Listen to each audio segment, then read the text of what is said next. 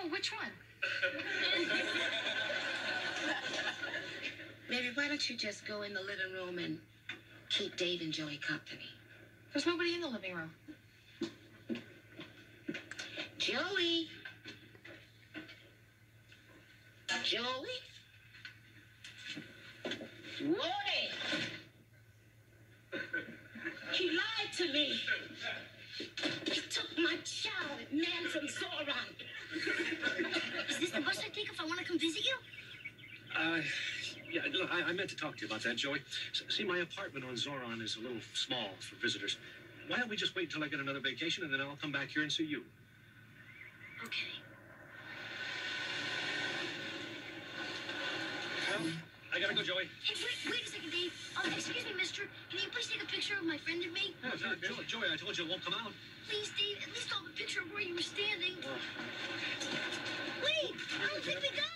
gotta go, Joey. But Dave! Oh, hey. so long, pal. Bye. Bye, Joey. Bye. See you soon. Okay. Joey! Joey!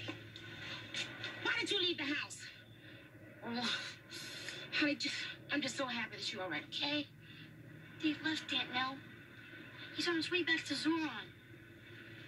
Sweetheart, don't be so sad, okay? Look, let's just hope that he has a very safe trip, all right? Yes, ma'am.